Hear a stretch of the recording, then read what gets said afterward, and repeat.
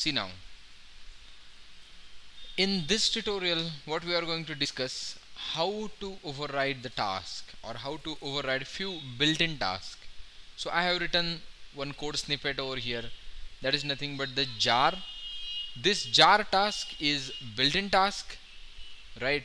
This jar task is built-in task.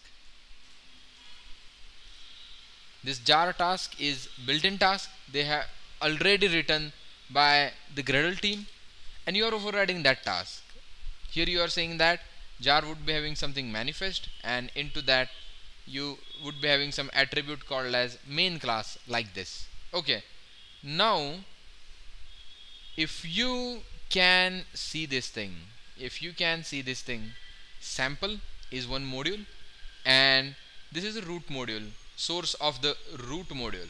Okay so here it is the source right? Here it is the source. And into the source of the root module there is a main file or main folder. Into the main folder you have something called as java and the resources. You have something called as java and the resources. Right? So in the java folder i am going to create new what you can say package. See new? Or simple I am going to do is that say new main. Here you can say main. Right I have created one class whose name is the main.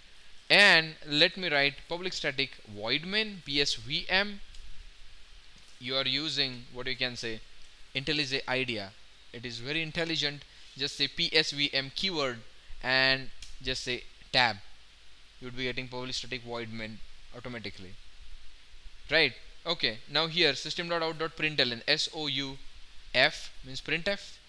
Just have system.out.printf and you can say this is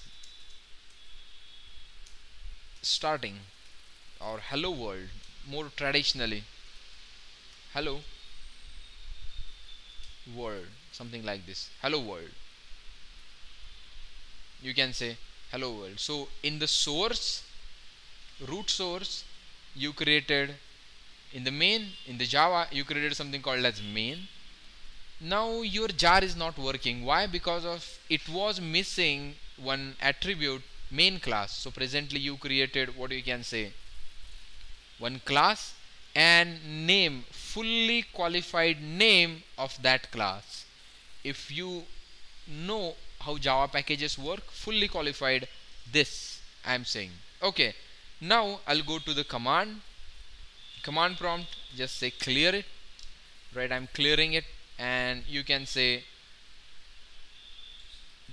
gradle w dot forward slash gradle w. Right dot forward slash gradle w and you can say jar here. You can run which task? Jar. Just say enter. Now it would be building the project and then generating the jar right? It has successfully generated the jar. If you can go to the folder this libs and this jar has been generated. Okay. Now let's navigate to that folder. Likewise cd build cd libs and java and jar. You can say this. Can you see hello world over here if you can check hello world over here you got the output and you didn't get the error. That no manifest attribute is there attribute missing. Why? Because you have overridden the task. Here you have overridden the task manifest attribute and this. Right? You have overridden the task. Okay. Now what I want to show is that how you are going to do same thing how you are going to do same thing for the submodule right? How you are going to do same thing for the submodule. So inside sample right? Inside sample I went now there you would be getting build.gradle right? Into the build.gradle now here I'm going to create some package. Right click new java package. See what I did? So I right click new and the package. Right click new package over here. Right click new package and com in the Java packages should be in the form of reverse domain. Com dot codekul c o d e k u l com dot codekul dot. So this much is my domain codekul.com after that you may write your project name. You can say java brush up or you can say just brush up something like this is my project name. And after that your main module. And after that your module package likewise com.codekul.brushup so instead of main just this would be the root. And into this you would be having one file called as main. I'm creating main over here something like this. Can you see? One package line has been added that was missing over here. You cannot find package line over here but you will find package line over here. Okay then you can say psvm public static void main souf system.out.println make the slash n over here. And you can say hello world. From sample package. From sample package. Right. Okay now once again generate the build not here. Say hello world from sample package. Okay. Just have cd dot dot cd dot dot right? Now you are going to execute jar right? Just make the configuration. So you need to have you just have written now inside this thing something com dot foo dot bar dot main class. You have written something called as com dot foo dot bar dot main class. So instead of that you need to refer to your main fully qualified name of your main. What I'm saying? Fully qualified name of your main class.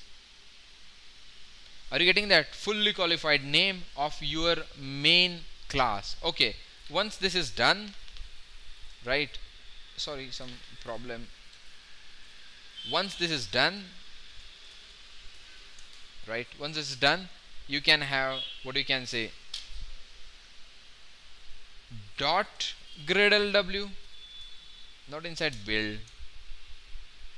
Dot gradle w colon module name sample colon task name that one you want to execute dot forward slash gradle w colon sample colon task name. Just hit the enter. You would be getting something like this. In the sample module libs it has generated sample 100 jar over here right? Now see problem is that every time you need to execute the jar is that any way directly means is that any Gradle task so that I can run the task we'll see that how to do that thing in the next tutorial. Okay.